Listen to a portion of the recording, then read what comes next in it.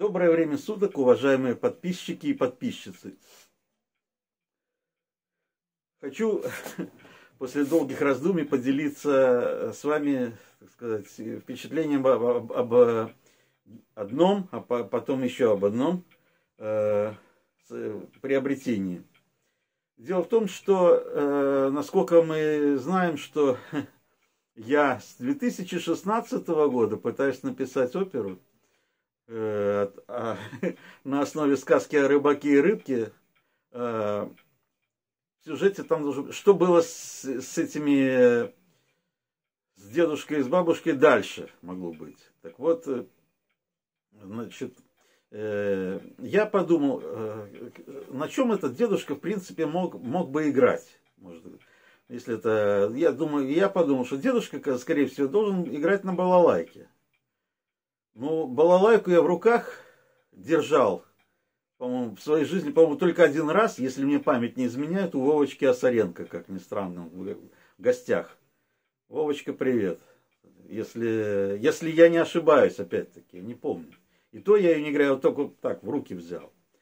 А, и, и еще один раз мы Э, ко мне, э, к нам еще в веселом поселке пришел ко мне один приятель, Илья Левин. Мы с ним слушали еврейские песни, в том числе Аида Шимамы. А сосед со второго этажа, мы на третьем.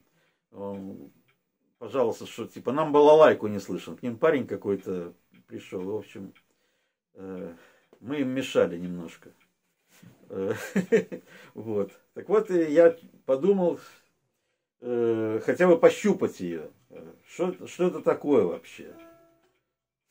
Ну, пошел в интернете смотреть. Я, я не хотел э, э, какие-то академические варианты. То есть я э, посмотрел э, людей. Есть прекрасная балалайчница э, Елена Варфоломеева. Привет, так сказать.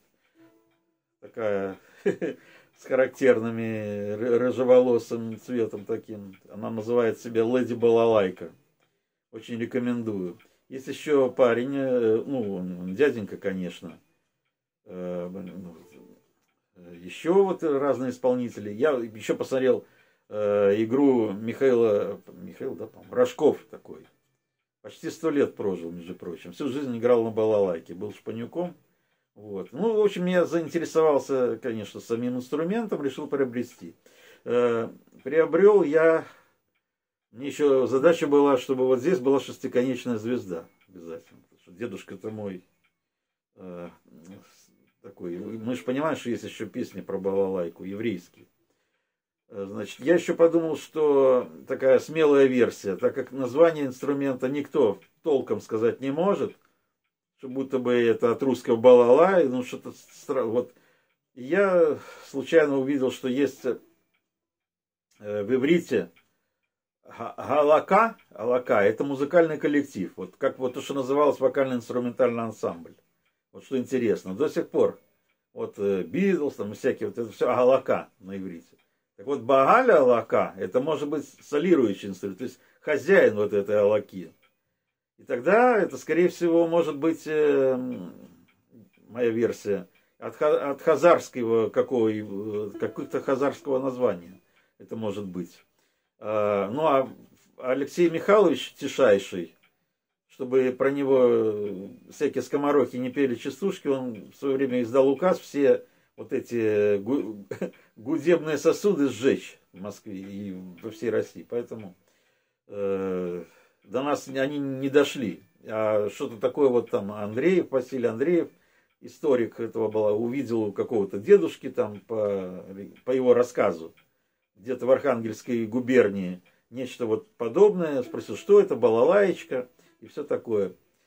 В общем, я такую штуку купил себе, причем я специально купил старую. Я считаю, что Э, это Черниговская фабрика. Я помню, есть прекрасные старые пианино. Там, э, запомните, сотые артикулы, там сто какой-нибудь, они круто звучат. Э, вот, имеется в виду. Чем современнее пианино, тем оно неинтереснее. Чем старше пианино, при условии, что там нет трещин в деке, вообще, чем старше любой музыкальный инструмент, тем у него Это как старый коньяк. Вот он, он набирает э, выдержку, он набирает звук. Вот сейчас мы, я вам это попробую показать. Значит, на что при, э, при покупке надо смотреть? Тоже вот, э, я не специалист, но я просто знаю по опыту общения с фортепиано, с роялями. Ну, конечно, чтобы не было нигде трещин, кстати, обратите внимание, тут вот эта деталь вставлена, видите, тут лопатка называется. Вот это должно быть не пластмассовое. Причем здесь оно явно из, из какого-то музыкального дерева. Вот эти клепки называются. В моем случае, что получилось? Э, оно хранилось где-то в гараже явно у кого-то, у продавца или там, не знаю. Они все вздулись, и вот здесь по, по, поотлетали. Но мне, так как я сейчас нахожусь в Бершеве в Израиле, я надеюсь, что за лето это все подсохнет, и оно как-то, если оно форму эту не вернет, то оно хотя бы уже разбухать не будет, и тогда это просто можно за, залить каким-нибудь твердым клеем, чтобы оно было культурно. Ну, во всяком случае, пока что инструмент не разваливается. Я надеюсь, что не развалится и впредь. Э, крепление струн вот здесь вот такой, как было еще до революции, условно говоря, Великой Октябрьской. Хотя я датирую этот инструмент 50-ми годами, приблизительно, 1950-ми годами, я так думаю, он произведен. Что еще мы можем про нее сказать э, вкратце? Это есть балалайки академические, есть балалайки народные. Это балалайка народная, как я вижу, потому что вот здесь вот нет нет продолжения э, вот этих ладов, и здесь нет панциря вот такого. Вот. Хотя есть накладка из твердого дерева, то есть мы ее поцарапать не, не можем. И, и она шестиструнная, обратите внимание. То есть это концертная балалайка при этом. Значит, как она настраивается? Ми, ми, ля, оказывается. Академический строй это ми, ми, ля. Народный строй это до, ми, соль. Но до ми соль я попробовал, звучит как гитара. А вот э, Андреев, это вот этот, э, ну сами ищите, читайте, так сказать, чтобы видео не, не особо затягивать. Э, он установ... пришел к тому, что балалайка должна быть ми-ми-ля. То есть ми, ми. Ну тут по две струны, то есть каждый в унисон настроена. Тогда балалайка звучит именно как, э, как мы привыкли ее вот она, вот сами построения аккордов такие, что получается, э, она звучит именно так, как балалайка, а не как гитара. Э, то, что у органистов называется там э, регистровать с дырками. Вот, вот смотрите. Начинаем. Откуда я, я вот тоже опытным путем, не учился никогда. Вот, вот первый раз взял в руки во-первых, она, она еще во многих, она сидит хорошо в руках, она не, не падает, даже если веревка не привязана. С ней можно по улице ходить, можно на, вот так вот лежать и играть на ней. То есть это по, по мензуре это половина гитары. То есть э, ми, ми, ля, там в гитаре тоже такие струны есть. Я еще пробовал на си настроить первую струну, чтобы и тут гамма получается. Но тоже получается гитара, как гитара. А тут, э, короче, вот так это делать.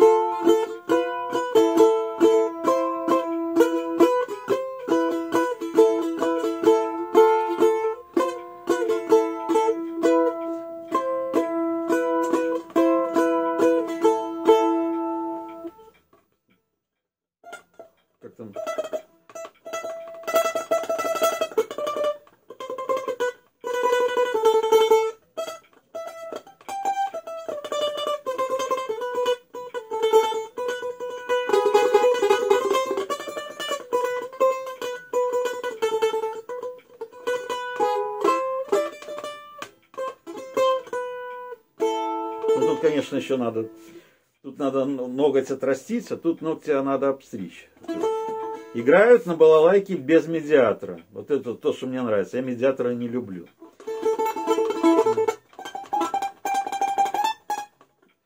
Я еще тоже что установил опытным путем.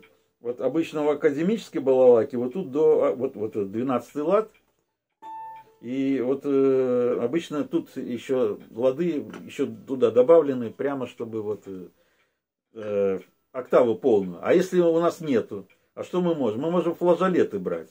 Но флажолеты я брать еще не умею. Я могу струну просто вот так вот по скрипичному прижимать. И вот она, она есть у меня эти ноты.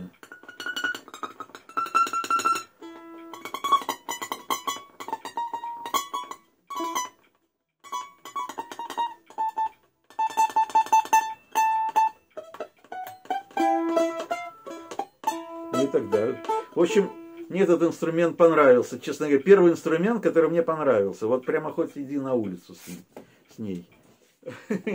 Она, и она поет. А поет она благодаря тому, что она старая. И, э, хоть она была, значит, что делать, если инструмент отсырел тоже? Вот, кстати, попутно вам показываю. Видите, вот колки тут ржавые. Ни в коем случае не вздумайте сушить. Что надо сделать? Э, если сушить, не дай бог, треснет дека, может треснуть, и тогда пиши пропало. А, значит, как деку проверить? Во-первых, ее можно обстучать. Там еще к ней вот перекладины изнутри приклеены. Они вот, вот, то есть там ничего не должно болтаться в ней. И она должна иметь вот, э, быть выпуклая слегка. Вот если вот так вот посмотреть, должна быть выпуклость. Она не должна быть провалена. Вот если, если провалилась, то там целое дело. Это вот как-то выпиливают, там клеют с обратной стороны пружины эти так называемые. Вот. Так что вот, если кто хочет приобретать, я считаю, ну, чтобы не, не хотите, если на сувенирную нарваться. Хотя, может, она тоже может звучать. Вот смотрите на заднюю часть вот эту, чтобы она была из хорошего дерева. И смотрите сюда. То есть вот, вот здесь наличие большого количества ладов не обязательно. И заодно я с той же, э, это балалайка Черниговской фабрики. А я почему э, именно ее захотел, потому что когда-то, помню, было, я видел пианино Черниговской фабрики. Такой еще Богдан Хмельницкий такой на коне там, на передней вот этой стенке, скажем так. Э, такой резной.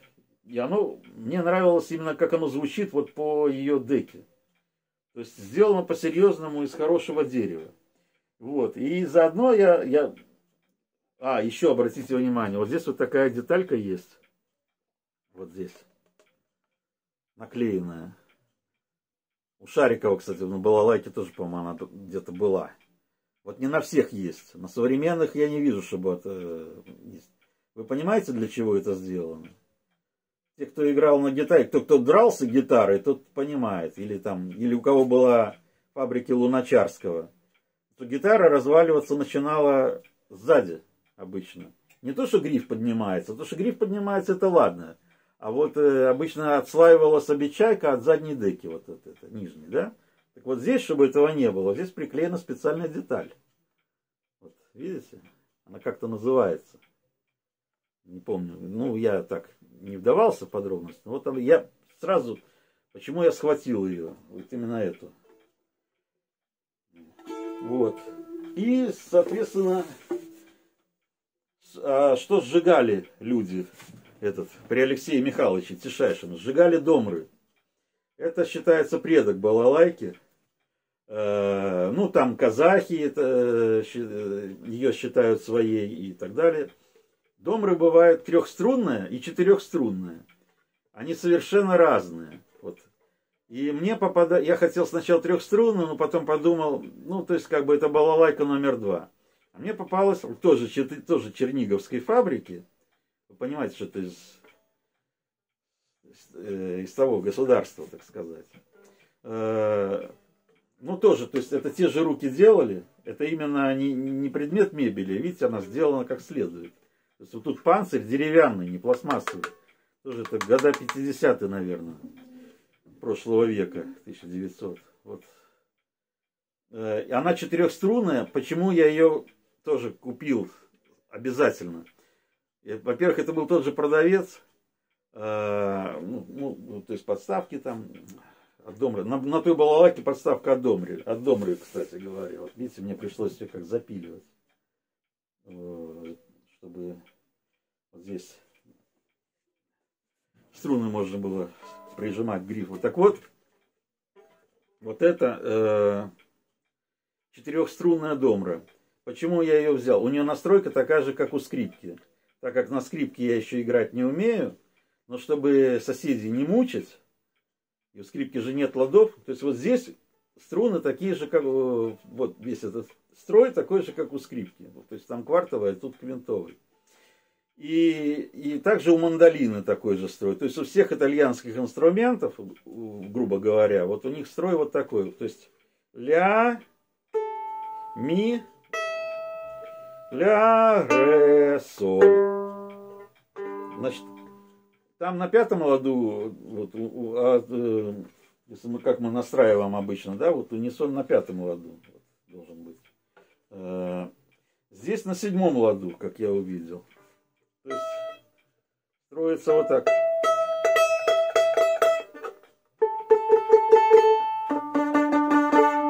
Вот. На домре играют медиатором. И, во-первых, дом, домру неудобно держать. Обычно девушки вот так вот, вот так делают и вот так кладут. Почему-то девушки в основном. Вот так еще платок сюда. И вот своей этой вот так прижимают, чтобы она как-то держалась. И вот и на ней играют обычно медиатором, тоже что, то, что я не люблю. И вот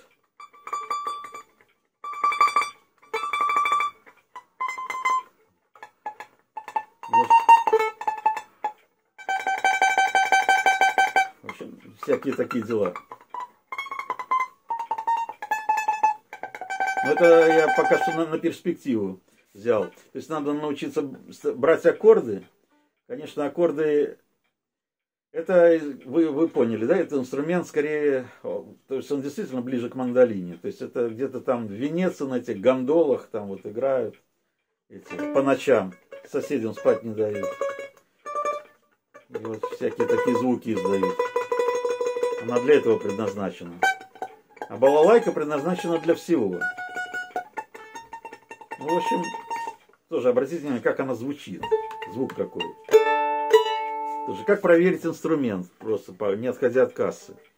Берем самую нижнюю, вообще любой струнный инструмент, гитару, вот, вот щипковый.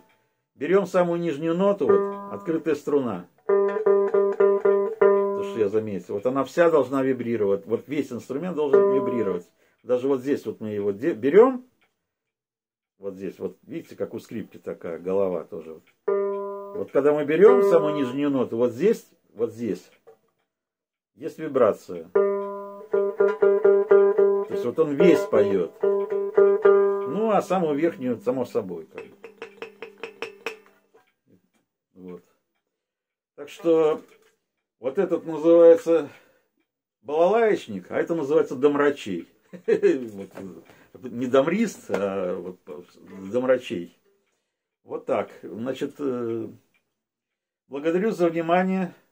Ну, вы понимаете, что все-таки балалайка пока что это мой любимый инструмент стал.